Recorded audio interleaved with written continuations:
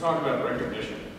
And speaking of recognition, you might be saying to yourself, I recognize that guy. Isn't he the one that gives this geezer speech every year? well, I used to be that guy. But here's what I decided to do instead. I let my geezer self take the retirement package. So, you won't be hearing about garages anymore, or Weight Watchers brownies, or ospity reminiscences, or any other self-incriminating geezer gestures or behaviors. They've all taken retirement. But there's one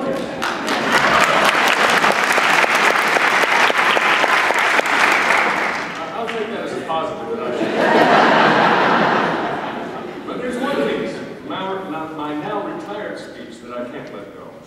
And it's the story about the guy I shared an office with back in 1982. Both of us new PhDs, and how we got together for a drink to celebrate our having been hired at our first real jobs that neither of us expected ever to get, sitting in a bar the first Friday of our first week at Wayne State University, how we raised our glasses, and before I could make a toast, how my then office mate made a toast for the both of us. To our next jobs. That's what he said. To our next jobs. Well, he did get another job, though it's questionable whether it was quite what he had in mind. I won't bother you with the sad details. Suffice to say, things didn't turn out as well for him as they have for me. And there's a moral here, of course, about being true to your school and the good things that will follow if you are. And how many of us here there are today who have stayed true to this great university in all the years we have put in here together. More than 13,000 of them. 13,000. That's not my point, though. What I'm interested in is that 1982 version of me. It was a different time. Ronald Reagan was halfway through his first term as president, having gotten himself nominated at the Republican convention right here in Detroit. The Dow Jones Industrial Average hit an all-time high, closing at just under 1,100 points. The Vietnam Veterans Memorial had just been dedicated in Washington, D.C. As for things locally, Coleman Young was entering his third term as mayor. Super Bowl 16 was played right here at the Silverdome. And I had just moved to an apartment on Washington Boulevard downtown. I flew here on a Saturday morning to look for places. Took the plane from New York City, where I lived then. I called the billing manager in Detroit to ask about renting, expecting that I'd have to come up with a deposit or else start paying right away. And I was a little bit short of cash. No need for deposits, that's what the manager said. But I won't be arriving for a couple of months. Don't you need something from me? Nope. That's all she said. Like I said, it was a different time. I live right across the street from the old Statler Hotel with its thousand rooms and thousand baths. Advertised itself. All of them vacant and shuttered by the time I arrived on Washington Boulevard with those red monkey bars running down the middle of the street. During the years that I lived there, most of the street-level shops were closed. Buildings would go up for sale, but nobody was buying much of anything downtown in those days. Dan Gilbert, Quicken Loans founder who was helping revitalize downtown, was just an undergraduate at Michigan State. The Ren Center was still comparatively new, having opened only five years before. If people talked about a renaissance in Detroit, they mostly did it with hopeful, if ironic quotation marks, air quotes, as we would say these days, although nobody knew what air quotes were in 1982. I don't think anybody then would have imagined the comeback that we're living in now.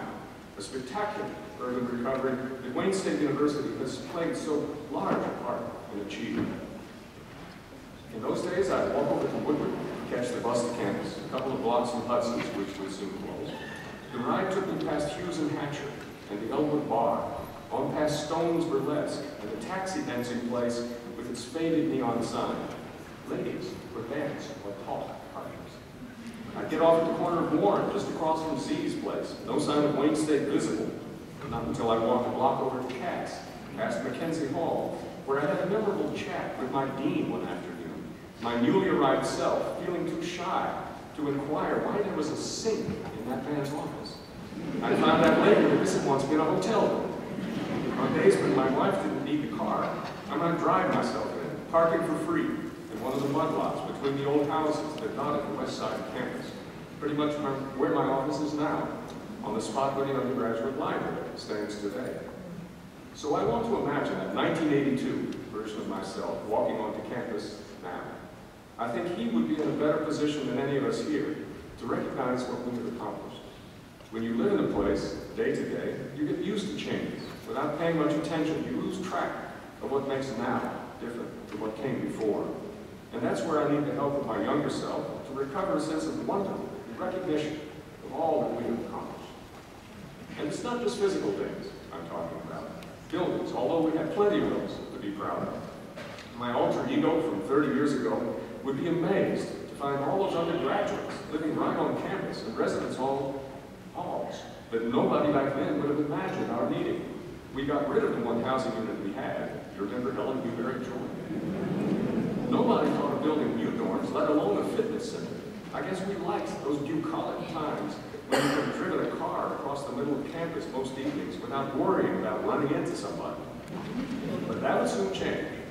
Around the time I got here, we undertook the largest building program in the history of the university, one that would extend along Woodward and Cass from Techtown and the new biomedical research building at one end to new housing and commercial developments at the other, from the Eugene Applebaum School of Pharmacy and Health Sciences to the medical school campus, which would become the largest single-campus medical school in the country.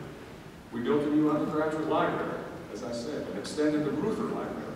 We created a new bookstore and a welcome center. And there at the Maccabees building, which we took over, we hung out our sign right on Woodward's, right on Woodward, Detroit's main street. And this is only a partial list. There's plenty more that didn't exist 10 or 20 or 30 years ago. It's not only new things that count though. We've been looking after the past as well. We fixed the McGregor reflecting pool, restoring that spectacular beautiful structure which has just been designated a National Historic Site. And we took care of Old Main, which is only fitting, since that building has played a central role in the history of this university, achieving iconic status, as we say, and deservedly. As far as recognition goes, it stands for something we recognize proudly about ourselves, which is the way we have kept faith with the past as we build the. Which puts me in mind of a student of mine. His name's Jim. He'd been working on his bachelor's degree for several years, balancing jobs with part-time school. We were discussing semiotics, as it's called, in class one day, talking about the way that signs work. Take an example, the stop sign, for example. There's the signifier, the red octagon, with its white letters S-T-O-P. And there's the signifier, what the sign tells you to do, which is to put your foot on the brake. The two parts together, the signifier and the signified, constitute a sign, according to the theory we were discussing. I propose that this kind of semiotic analysis could apply to a lot of things when we think of them as signs, to hairstyles and food and fashion and music. So after class, Jim came up to my desk. He seemed agitated. How long have you known about this? He asked, meaning the theory of signs. I told him the theory was over a hundred years old. He thought about that for a little bit. And he said, and do other professors in your department know about this? I said, I was pretty sure they did. Well then, he said, I've been going to school here for quite a while and I want to know, why wasn't I told about this? Why wasn't I told? It's one of those light bulb moments. You could tell. When an idea comes along, it changes the way a person thinks and imagines the world. It's those moments that make teaching a great profession, and Jim had just had one. I always think of him and Old Main together. That's where our class was held. But there's more to the association than just that. It's about our historic commitment and opportunity for students like Jim, along with the National Merit Scholars and the graduate and professional students who come from all over for a chance to study here. All of us together that make this university both great and also special because of who we are and where we are. We honor the past while we build the future, which we do really well. That's how we achieved the highest Carnegie rating, Research 1, as the designation was called when Wayne State first became such a school in 1994. And we would add to that the highest Carnegie rating for community engagement, making us one of only six public urban universities in this country to achieve both designations in recognition of our being committed both to this great city that we call home and also the great research mission that makes this truly a great and engaged institution of national and international reputation. Just to see what results I would get, I Googled Wayne State University accomplishments, and the search came back with three quarters of a million hits. Not scientific data, maybe, but still indicative, indicative of an idea of the university that drives this place. That phrase, the idea of a university, is one of Victorian author, John Henry Newman, talks about in a famous book where he set out to define what it is that we do. To open the mind, he wrote, to refine it, to enable it to know and to digest, the rule and use its knowledge, to give it power over its own faculties, application, flexibility, method, critical exactness, sagacity. His description goes on like that for quite a while. Nobody could accuse Victorians of being short-winded. I think fondly of those folks, since they're responsible for my being here today. I was hired at Wayne State, that was many years ago, to be a teacher of Victorian literature. That's the field I had studied in graduate school.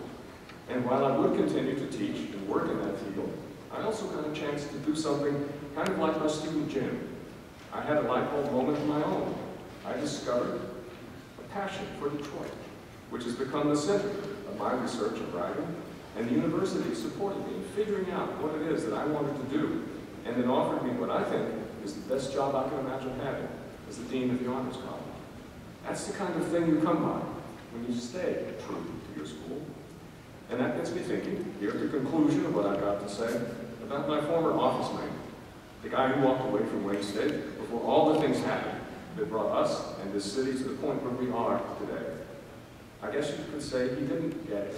The idea of this university and the idea of this great city. It's a kind of calling, which is what my Methodist circuit riding forebears might have said. Something that calls you out. It makes you want to do things you didn't imagine until you got the call. And the more that call gets shared, the more powerful it becomes for all of us, staff and faculty, and students, all of us. So you look around at this marvelous place, where people come together to change themselves and to change the world from all across the United States and from countries around the globe. And you begin to recognize what we have done, what we're always beginning again to do, reverence in the past, while we're the future.